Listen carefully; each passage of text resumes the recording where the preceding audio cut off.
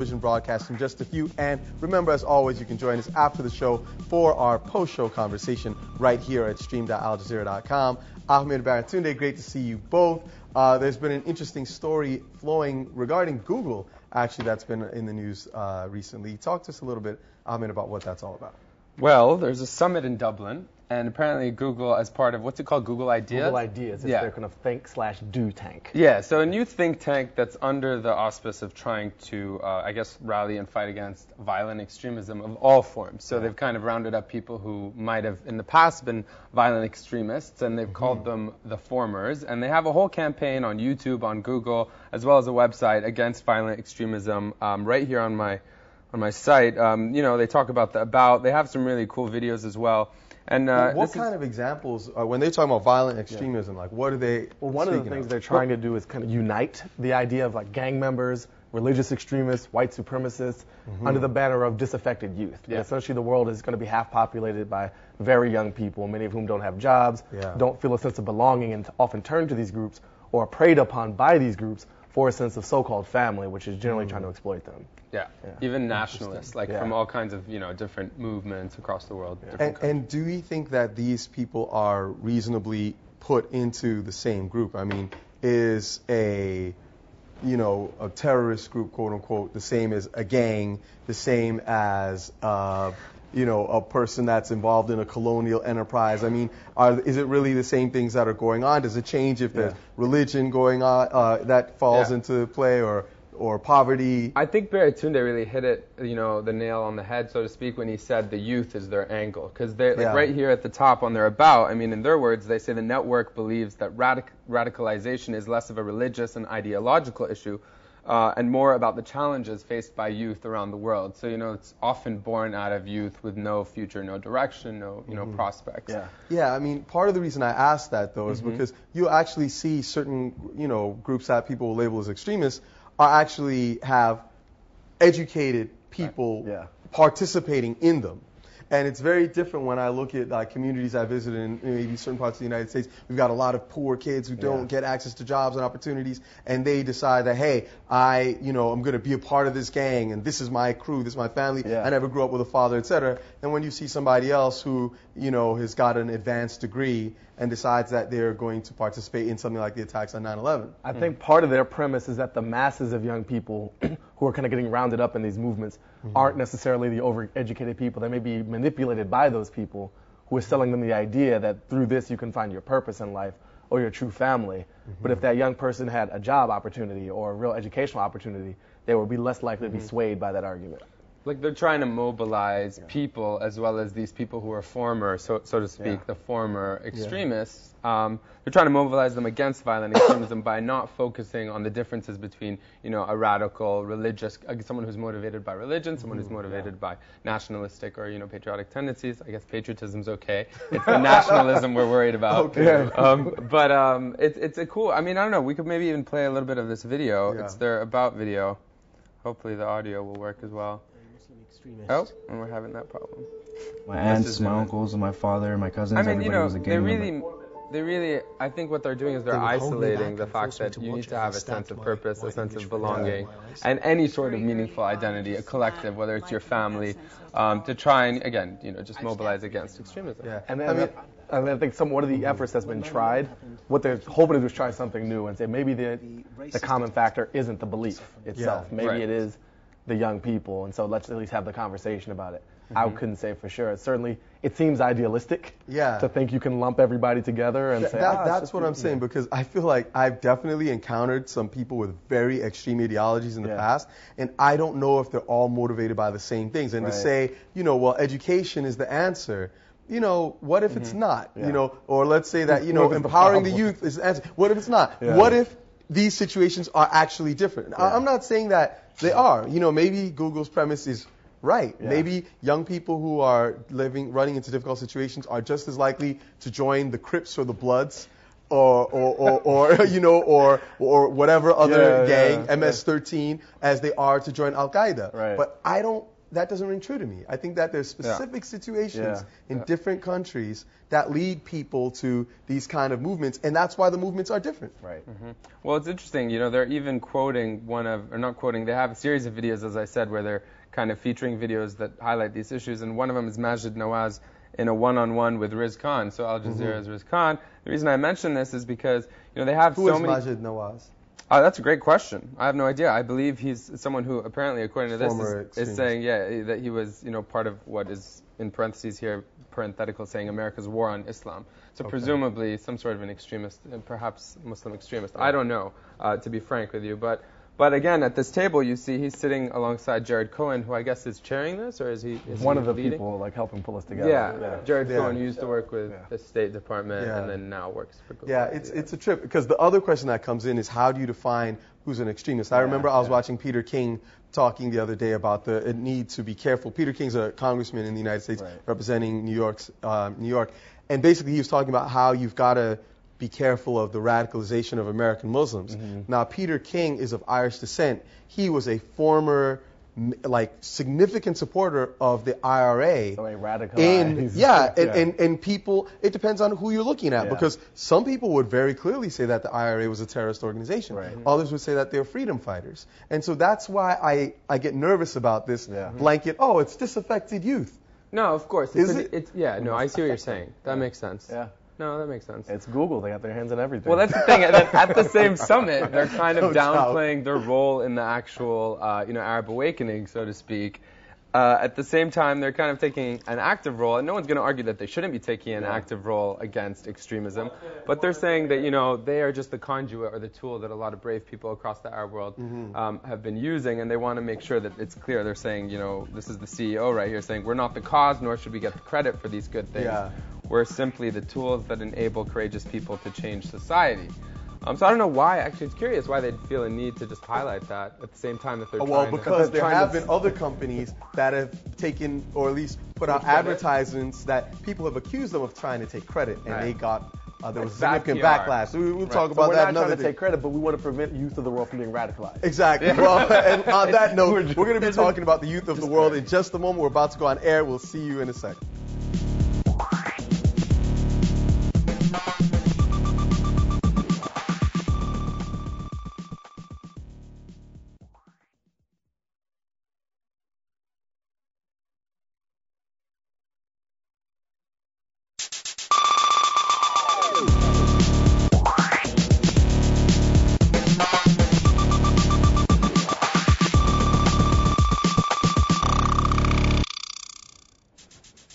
Hi, I'm Derrick Ashong, and you are now on the stream, a social media community with its own daily TV show.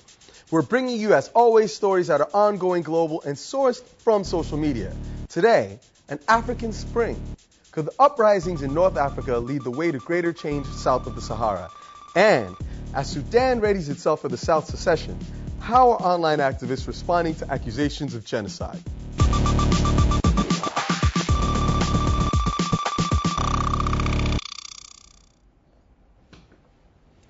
As always, our digital producer, Ahmed Shihab-Eldin, is here looking out for your feedback. Joining us now on the couch for a second day is Baratunde Thurston. He's a self-described technology-loving comedian. He is the co-founder of political blog Jack and Jill Politics, and he's digital director for the satirical American newspaper, The Onion. Baratunde, you've got more jobs. Talk to us a little bit about what is across your radar today. In this economy, there's not any such thing as too many jobs. So I'll take all of them. Two stories on my radar. First, anything Michelle Obama does, First Lady of America, I'm kind of into. She's, I think, the best First Lady ever. She just got back from Africa. And Where- her story where was she in Africa? Is, she was in South Africa. Okay. Trying to warm relations between the countries and do kind of a symbolic thing. Uh, but what, her symbolism is more powerful than others, I think. The other is a story that's troubling. And following at boingboing.net, they're covering a story about U.S. police departments Mm-hmm. accusing people of you know, a crime, impeding their job by filming them doing their jobs. They don't want the public scrutinizing them on the job. So if you film someone with your camera phone and post it later as they're arresting someone or harassing someone in public Yeah. or abusing them, they're going to prosecute you as interfering with their execution of the law. And this case in New York was just thrown out under those charges, saying Okay. it lacked all merit. That's great. I mean, because that's a very dangerous thing when people are using these devices at times to protect themselves against potential violations by law enforcement. So Yep. thanks for bringing that to our attention. Always, uh, if you have stories that you want to bring to our attention, you can tweet them to us at AJ Stream. Hi, I'm Natasha Fatah. I'm a Canadian journalist and I'm in the stream. Arab uprisings we're witnessing today in Syria and Yemen got their momentum from North Africa, where the people of Tunisia and Egypt overthrew their longtime rulers. Now, I want to show you an image that is actually very interesting, something that was discussed a little bit earlier in the news. Uh, earlier in the year, because even before the events in those countries, voters in Cote d'Ivoire had raised their voices against President Laurent Gbagbo, who, after more than 10 years in power, refused to step down. This is an image of, of uh, former President Gbagbo there. If you take a look at this other video that I'd like to share, this is from Dakar, and it talks about just last week protesters who forced Senegalese President Abdoulaye Wade to give up constitutional changes which would have made it easier for him to maintain power. Social media has made all these events much more accessible for Africans across the continent. So, could we soon be witnessing an African spring? Joining us now from South Africa, Johannesburg in particular, is Mathatha Tsedu, a South African journalist and head of Media 24 Journalism Academy. Welcome, Mathatha, to the stream. We're considering this idea about uh, the possibility of an African spring. Do you think that it could happen? Yeah, the, the, the possibility is there. Um, we can. There's no way of uh, denying the fact that uh, um, when all these events happen, whether within Africa or outside Africa, uh, people watch them and see their own possibilities, and they gain uh, courage, and uh, sometimes they become successful.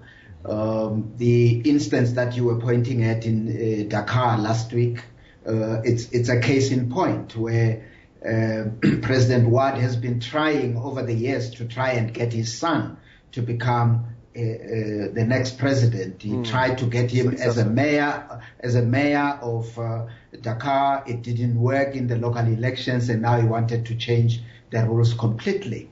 Uh, it, it, he, he has failed again. Here in, in, South Africa, uh, uh, for example, we've been going through a process of a new law that was about, about to be enacted, and people have been up in arms. And the, just this past Friday, the African National Congress, despite its big majority in parliament, relented and has changed uh, uh, uh, the kind of clauses that were uh, quite controversial. So there, there is indeed hope in, in, in, in what is being called the Arab Spring becoming even a sub-Saharan uh, Well, spring. Mathatha, I want to ask you a question because we posed this to some of our friends, and uh, as you know, a lot of people on the continent are using social media to convey ideas that they think are important and to speak through their diasporas. So we got this tweet from David uh, K. Mpanga, who said, The African Spring is coming, whether or not it's televised. The primary political and demographic factors are in place. However, we also heard from Brian Odong, who said, Things tend to go from bad to worse when foreign media dig too deep. At times, we prefer to leave our ancestors asleep. I'm curious to hear your perspective, Mathatha. Do you think that an African Spring is possible without significant international media coverage? No, uh, the, the, the, the media coverage, especially international, is very important uh, because it also generates other uh, international pressures as a result. Uh, but we must not get to a point where we start thinking that uh, simply because there is coverage, then the spring will also end in the same way that it ended in Tunisia and uh, and Egypt. There are other political factors that one has to take into consideration in both Tunisia and Egypt. Uh, the the overwhelming uh, factor that brought the regime down was the fact that the armies in both those countries decided that they were no longer prepared to oppress people in the name of the uh, dictator. That was crucial. And even when you look at Yemen, you look at Libya, you look at Syria, the fact that those uh, uh, struggles are perpetuating in the manner in which they are, it's also a result of the fact that the armies in those countries still want to stay with the dictator. The no. same applies to Zimbabwe and uh-huh. Swaz- Swaziland, for example. You know, this is a wonderful point that Mathatha raises yeah. because I got a tweet from at Gail Masengi who says, I don't see, speaking of, Arab, of African swing, says, I don't see that coming anytime soon or late. In the South, we won't stand the heavy armed security forces who pledge allegiance to the regimes. In terms of both the media coverage, not necessarily from a mainstream perspective, but the social media coverage that helped amplify many of the voices in the Arab Spring. A lot of that was possible because people had an attention span for it. And with so much that has happened, you see some sense of revolution fatigue possible among members of the international kind of social media public. Do you see that as an issue in the possible African Spring? And with respect to the military, do you see any shifts among any militaries in these countries more toward the people and away from the regime as pressure is ratcheted up through public demonstration? Uh, I, I, suppose we all should say we live in hope. Uh, that one day the even the security forces in Zimbabwe, the security forces in Swaziland will see reason to ditch the dictator. But at the moment, yeah. that is not on the cards as we speak now. Uh, Mathatha, I'm just going to ask you not to repeat this question, but a lot of people are raising the fact that, you know, Mita Bill is saying factors like slow internet connections along with online censorship will be problems for any potential African Spring. Um, but then uh, SIA Africa is saying, will the African Spring be an area-specific revolution, or will the whole continent rise up? The reason I ask is because we said technology played a big role in Tunisia and Egypt, and we know that there's many uh, elections coming up. As you mentioned, Congo, Gabon. I think it's in November and December. There's parliamentary elections and president, presidential elections. What do you think? Is it going to be a specific in certain countries, or can you anticipate it all? Uh, it's it's going to depend on um, factors on the ground. Um, you, you need a spark.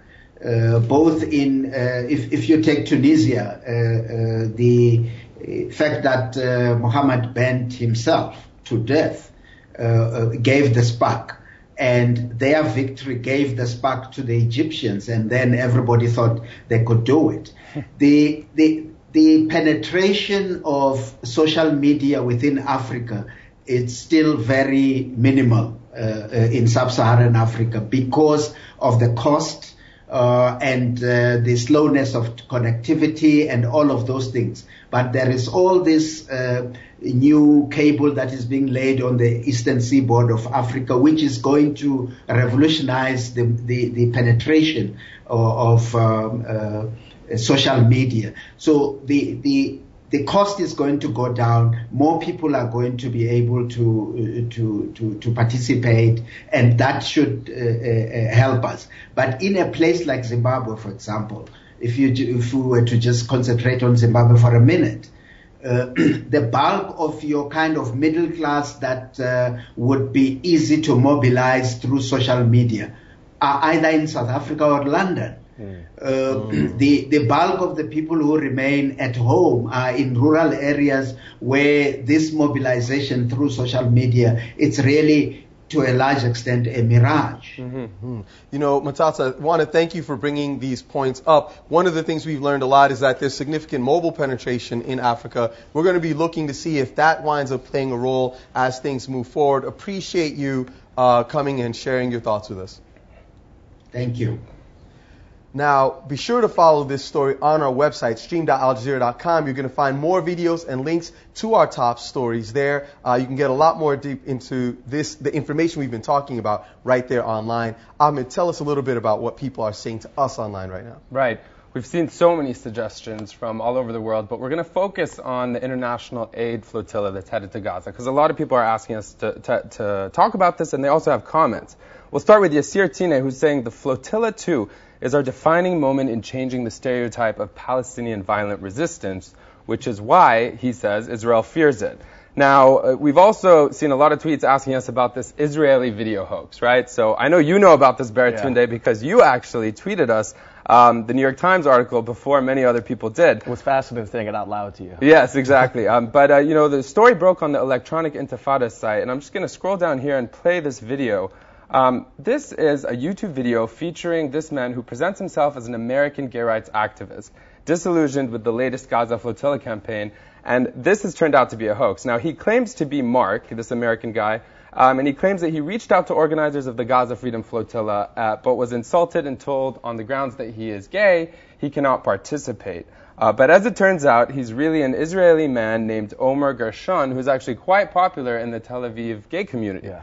So the question is, is this video a hoax, or is it part of perhaps a larger propaganda, you know, initiative Yeah. to kind of detract attention from the flotilla and kind of discredit the, the activists? What do you think? It was actually tweeted by uh, some Israeli government offices, or at least people who worked within them. And his underlying point is be careful who you get in bed with. It may lead to Hamas. Right. And so there is a political point, but when it's couched in what uh, phrase I heard coined last week as civic Right. fiction, does that undermine the underlying political argument Yeah. when you're using a layer of deception to get it out? That's true. I mean, a lot of people are really uh, curious as to why the Prime Minister's office has yet to deny that they had any active part in Right. creating and producing the video because they did tweet it out from the Foreign Ministry's account and the Well, press apparently office. a number, a couple of different uh, places, uh, government accounts did tweet it out, and it reminds you, us of the uh, story in Syria where you had another, Yeah, uh, you know, a gay girl in Damascus, Yeah. and we Right. found out that that was a hoax. I'm not sure what further information is going to come out from this one, but it's interesting to realize why would someone put a well-known actor Right. as the protagonist in a fake video? Yeah, it's true. I mean, a lot of media reports, you know, the Haaretz paper in Israel is waiting for, you know, a proper response, I guess, Right. from the prime minister in terms of how involved they were, if at all. Um, so So the internet this, finds you out. That's the other lesson Yeah. of this. The internet Yeah. eventually uncovers it. We'll wait and see. We'll wait and see. Um, so this story about the flotilla two is only one of many stories that you've shared with us. But of course, there are many more. Um, here are some hashtags you're using to actually track the stories you care about.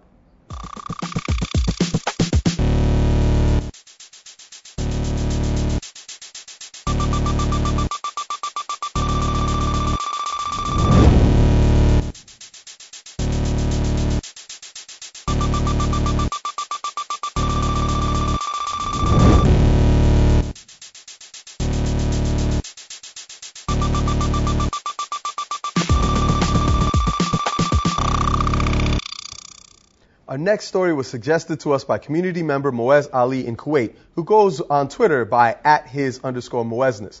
He asked us to look into the issues surrounding the division of Sudan as the South gets ready to mark its independence from the North on July 9th.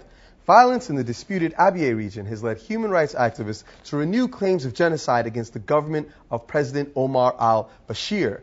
However, those accusations have raised concerns that the narrative of Sudan has become overly simplistic, with Western backed campaigns reducing the conflict to a simple story of good versus evil, casting the North as an aggressor and relegating the South to victimhood. Sudanese digital activists say the story is much more complex and they are going online to respond. We're fortunate to have joining us now via Skype Amir Ahmed, who writes the blog Sudanese Thinker, and also joining us from Kampala is Sudanese human rights worker Osman Hummaida, who's executive director for the African Center for Justice and Peace Studies. Welcome both of you to the stream. Ahmed, let's start with you actually. Um, Sudanese Thinker, tell us what you think is wrong in the Western depiction of what's happening in Sudan. Well, there are generally three problems with Western media coverage of Sudan. So, one, there is oversimplification, okay, and the genocide label, how it's so casually thrown around, like that's that's a perfect example of this oversimplification. Two, exaggeration, sensationalism, and over dramatization, which I think happens across the board with many other issues. And then three, you, ha- you have heavy politicization in favor of the South and Darfur. And, you know, this ends up being alienating for many northern Sudanese, the majority of whom do not support the government in Khartoum. So those are three key problems. Oversimplification, exaggeration, and heavy politicization in favor of the South and Darfur. Now, I just want to make, make make sure that I that I state this, um, you know, and, and be very unequivocal. It's it's clear that if you look at the history of Sudan, it has been the northern government which has been the main aggressor against you know the Southerners and and you know has marginalized Dar- the Darfurians as well.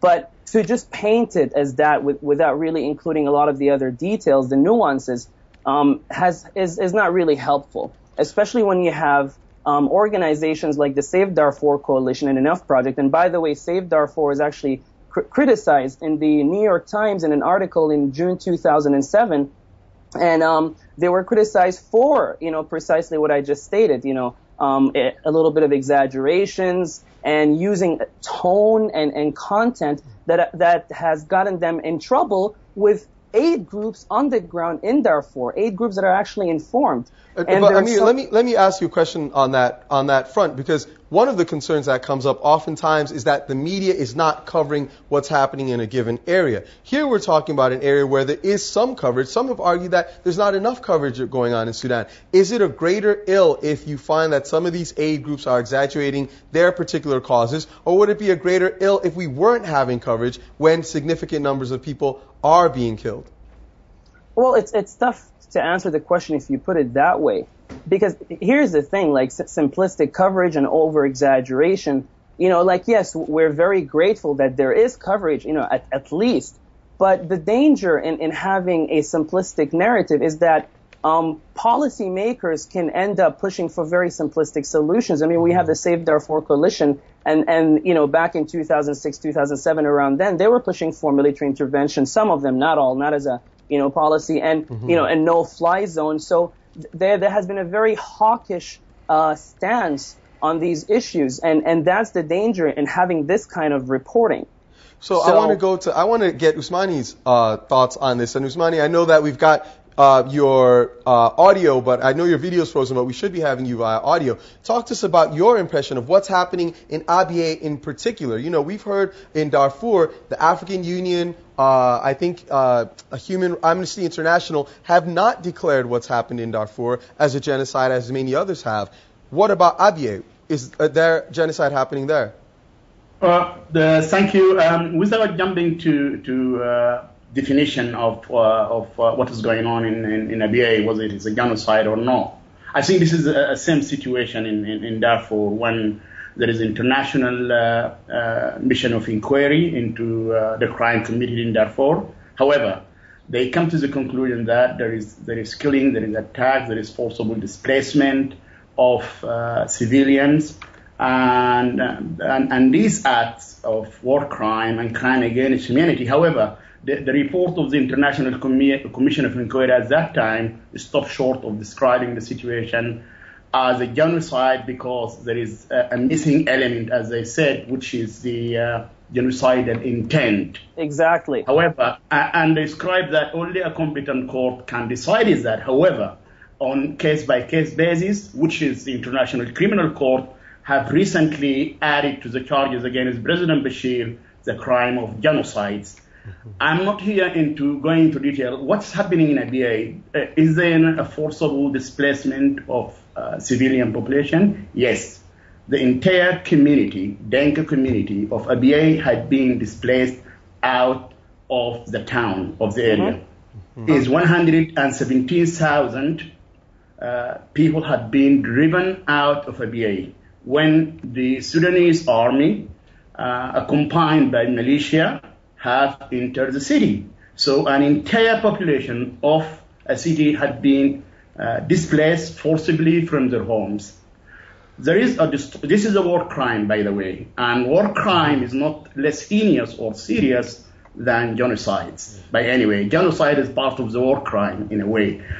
Uh, actually, I'm sorry, Usman. I want to I want to get Amir involved in this, and I was actually a question that came to us about the Arab revolutions and the kind of protests that happened in different places via Twitter, and why some of this may not have been happening in Sudan. And Amir, I want to pose that question that I think Ahmed has got on his screen. Mm-hmm. It's actually regarding this question of why protests were not happening in Sudan in the same way. Um, there were protests that took place in January, and the main protests that happened, they were organized by university students through Facebook. Mm-hmm. And, you know, people did go and show up, but unfortunately, there was not a lot of momentum and, and the protest did not gain traction. I think at the very most, a conservative estimate would be, you know, a couple of hundred people. Um, here and there that, that went out. And there was a very brutal crackdown, which was underreported, not surprisingly. Mm-hmm. And, um, you know, many activists were imprisoned, mm-hmm. uh, one of whom I know online, he's a blogger. Um, he was severely tortured as well for his participation um, in these protests. So there were protests, but unfortunately they did not pick up, you know, and gain the sort of momentum that we've seen elsewhere. Because I think, you know, when you look at Sudanese history, we've just had so much chaos and, and so many problems, and the economy is so terrible right now. People just don't have an appetite to, to really go out and do the same thing. Amir, But let me I ask you a follow up to that because Yeah. you said you said Amir uh, that there was this element of you know maybe everyone doesn't necessarily uh, support the uh, the policies of Bashir. I'm curious to what is the relationship between people in the north and the south of Sudan themselves. Do people in the Sudan south of Sudan perceive that there's not uh, significant support for Bashir in the north? You mean like uh, amongst the people themselves? Yes. the, the, the Southerners know that that um, you know Northerners are not happy with, with the government. Um, the majority are not happy. I mean, if you go into ideological reasons, it gets very complicated. But when you focus just on corruption, it's it's it's very straightforward. The majority um, dislike and are very against the uh, Khartoum regime. Of course, you know, with the exception of those who are benefiting from the corruption. So, I mean- I want to actually get you involved Yeah. here. So, it seems that, in a nutshell, their media is not giving the full story. What are some of the dangers that come out if it's not accurately reported? Well, one, you miss, you know, the the level of international attention that can get a little bit more focused to a non overly simplistic policy. What I'm curious about is with the upcoming official split of North and Southern Sudan, what are you guys noticing on the ground among those populations about how this is all going to play out? Is this, you know, a, a moment of great fear and anxiety? Is it a moment of excitement? Is it something else that I can't put into words just yet? Osman, we'd love to hear from you on Yeah. that. Yeah, it's true. We, we, we issued actually, um, my center, the African Center for Justice and Peace Studies, we issued two reports on, on uh, the recent uh, youth and student demonstration in Khartoum. One we called it Silencing the New Front and uh, uh, uh, Stepping the Tide Against, which is we documented torture and other uh, degrading and inhuman uh, treatment by the protesters. And one of the protesters, as he mentioned, Ahmed, he's a blogger and a rapper actually. Yes. And he was shaved and electron, he was uh, have electric shocks. And many students went through, through the same ordeal. And for the first time, actually, uh, the government have used the same strategy of oppression that they have used in, in the conflict area, which is sexual violence and rapes. Exactly. And we have uh, at least two stories of young students who come out and talked about their ordeals of being raped and multiple rape by uh, uh, while they are in the uh, in, in the security custodies. Now, I want to ask Uh, the, the- both of you actually. I'm sorry, strategy- Osman. I don't mean to interrupt, but I want to ask you and Amir to stay with us because we're closing the main show, but we're going to continue this conversation in the post show. I'll ask that you stay. Baratunde, it's been great having you here. back. Uh, Ahmed, as always. Uh, please stay with us. Join us on our website. It's stream.aljazeera.com. You can tweet us your thoughts and join this conversation by tweeting us at AJStream. We're continuing online. We will see you there.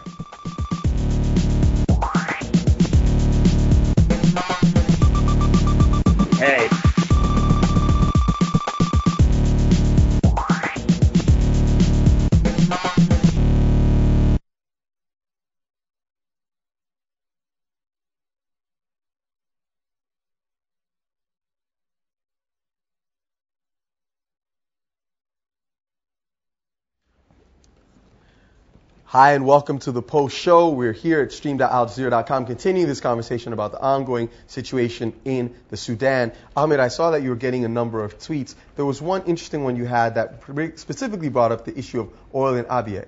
Yeah. Oh, I'm glad you guys are back. I hope you can hear us. Um, I was trying to get this into the main show because I think it's an important point, and Derrick raised it um, briefly. But you know, a lot of people talk about the problem with kind of using a generalized narrative. A lot of people refer to Abyei and also, I believe, uh, southern Kordofan as being oil rich. But then we have this one tweet from El Zubair saying that's an exaggeration. It's outright silly. Abyei is uh, the example being that Abyei is oil rich. He says that it's actually not oil rich, and we've seen that around Abyei the region is oil rich. So I guess you know my question is, you know, we know nearly three quarters of the oil that is pumped from Sudan is from the south, but all the refineries are in the north.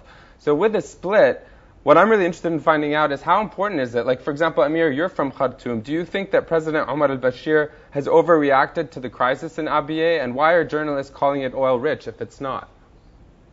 Well, why, why are journalists calling it oil rich? I think that's just lazy journalism. Has he overreacted to the, and, and, and keep in mind, the reason that the northern government troops entered Abyei was because um, the southern uh, soldiers have attacked a group of uh, northern armed uh, forces, right? So the attack was provoked, but I think it, it was, you know, maybe maybe they did overreact uh, to to a great extent, especially in terms of the violence that happened over that and how they went and and displaced so many people. I was asking specifically about the aerial bombardments because we know there's talk about bringing an Ethiopian peacekeeping troop in, and so I'm trying to you know figure out what will remedy the situation in Abyei.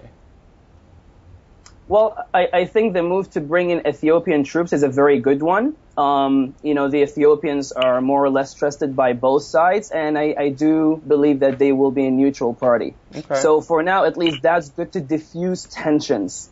Mm-hmm. Now, Osman, the, we're seeing that the, the split is going to happen on July 9th, but it seems that some of these tensions, tensions have been ratcheting up. Do you expect to see more violence following the actual secession of the South?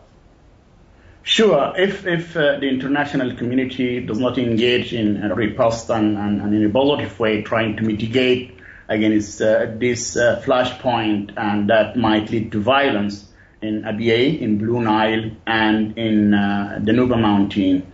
Uh, there is a number of issues need to be settled, which is a, a new political arrangement should have to be reached between both the government and the SPLM, the North sector, which is because the Nuba Mountain is part of the North uh, Blue Nile is part of the north, and Abyei, uh, its future have yet to be decided. However, regardless of the outcome of, of the of the referendum of Abyei, that is, uh, uh security and protection of civilians should be um, ensured. The Security Council actually had issued yesterday a resolution 1990 on the situation on Abyei, which is calling on the government uh, of Northern Sudan to immediately withdraw its forces and to deploy the Ethiopian one, as Ahmed talked about.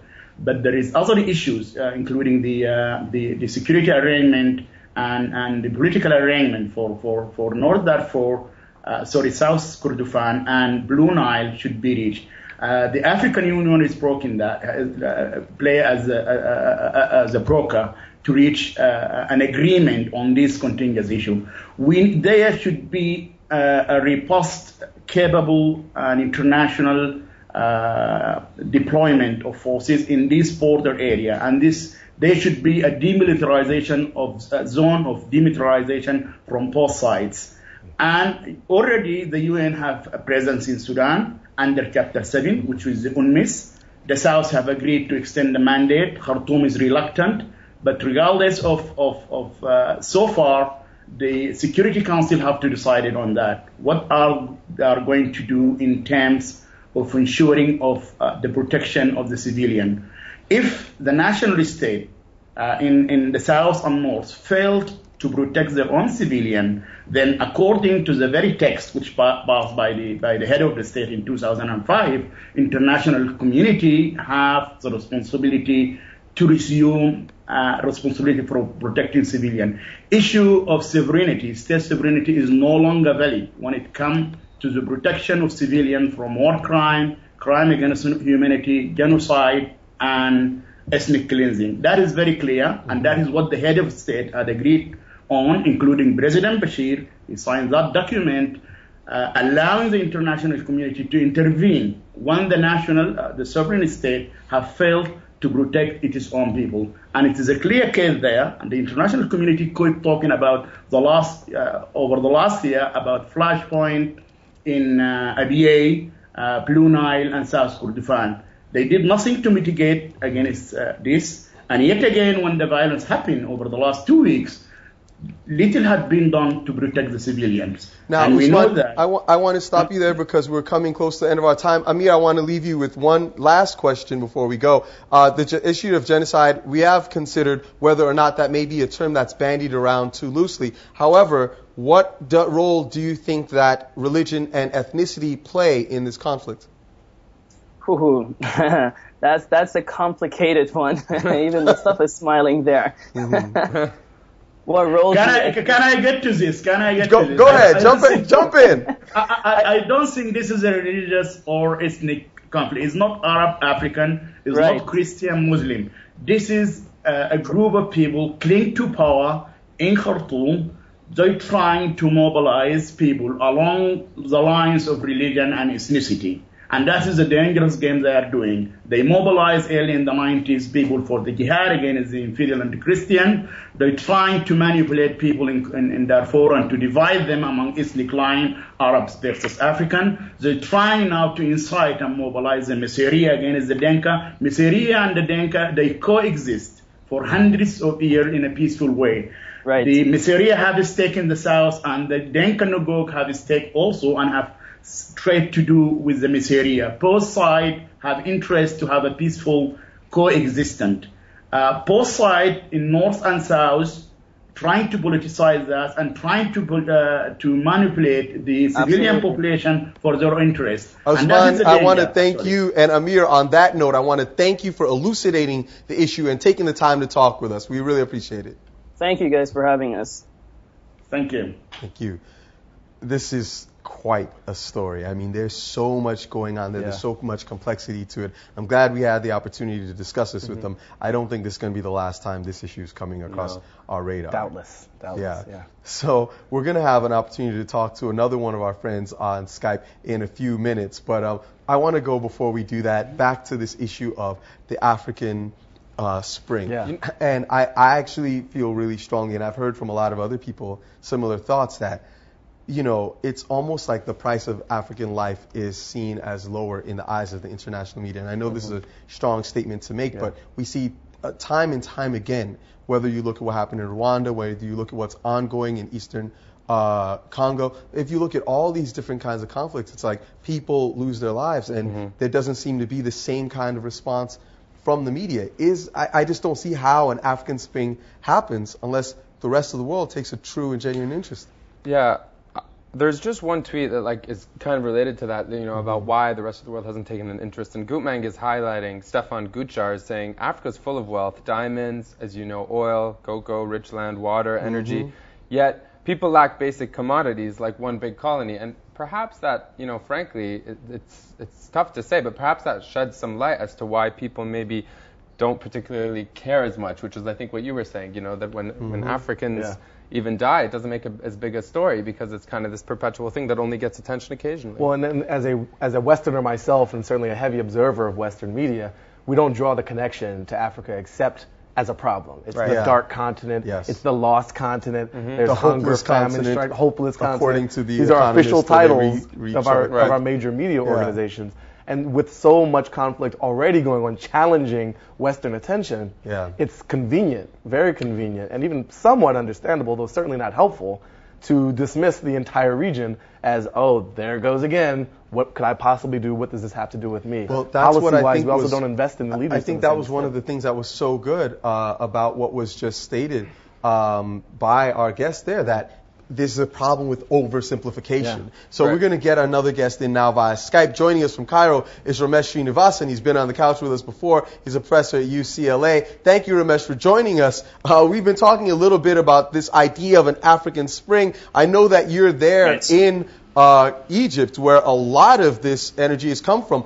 Tell me a little bit about what you think are the prospects for a similar kind of movement in sub-Saharan Africa. Well, you know what? It's actually really pertinent to what you guys were talking about today on the show because I've been interviewing uh, activists who are both on the ground activists, community organizer activists, as well as people who are both bloggers and on the ground activists. And many of them are directly in contact with specifically Sudanese activists. So what we're finding here is there's this network of activists that t- that already took shape between Tunisia and Egypt, and that's correspondingly taking shape between Egypt and Sudan right now. Wow, that's interesting. Go ahead. Al. Ramesh, I was just gonna kind of put you on the spot. And by the way, hey, good, great to have you. I, Nice a lot to of my see you guys. a lot of my friends in Egypt are telling me you're asking a lot of good questions uh, across Too Cairo. many questions. So one Yeah. question for, for you from David Shiner saying, um, should we worry that springs will become familiar to powers uh, that be, and that an African spring will eventually be suppressed with even new tactics? Like, what's your take on this? Just being, frankly, in Africa. It's actually a great question. So the key the key issue here, which was successful in Egypt, is somehow the small 10% or under group of people who were active online were able to tap into networks because the vast majority of people who were in Tahrir Square, who were in Cairo and Alexandria and all the districts on the street are not social media users. So the question is is what makes these people roll out?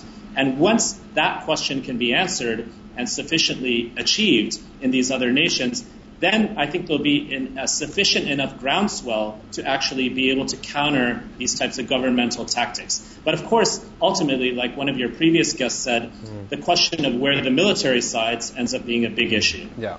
What do you guys think is the biggest obstacle? Well, I have another question that uh, follow yeah. on to that. Was as you're going around sort of deconstructing, reverse engineering what actually happened in Egypt versus what we've read about happening in Egypt on Twitter, to what extent is the class of the people with the technological access mm-hmm. very active on social media? How has that played out, especially post-revolution? Right. So, so post-revolution, it's even more sexy to be on social media than it was before. But there's no question that there's heavy amounts of homogeneity in terms of youth demographics. This is a very young country, yeah. but also in terms of income and literacy and technological access demographic. We're talking about the top five to 10 percent of the income and education spectrum in the country. However, a lot of these guys who are social media users are connected to hardcore labor union organizers, political activists dissidents, and some of those dissidents themselves mm-hmm. have used and utilized social media like April 6th leadership. Mm-hmm. And so we see that kind of really interesting synergy between people who know the ground, who know the communities, who know how to mobilize on the street, and people who are using social media. They call themselves a family here.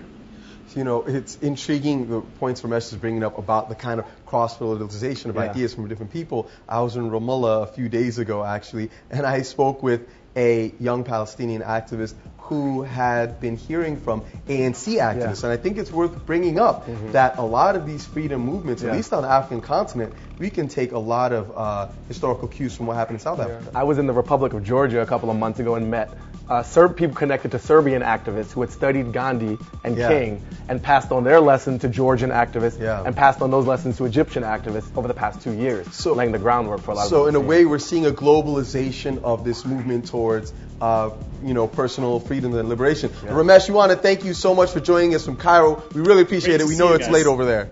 Fantastic great to see, to see you, you too, see man. You Hopefully, soon. absolutely. Hope so. Baratunde, second day with us. It's been great. We hope that you'll come been a back pleasure. with us. Absolutely. And Ahmed, you're dope. I love the jacket. I love the jacket. I love yes. the jacket. You look Finally. Thank you for joining us once again in the stream. We will see you again online, and you can tweet us as always at AJ Stream.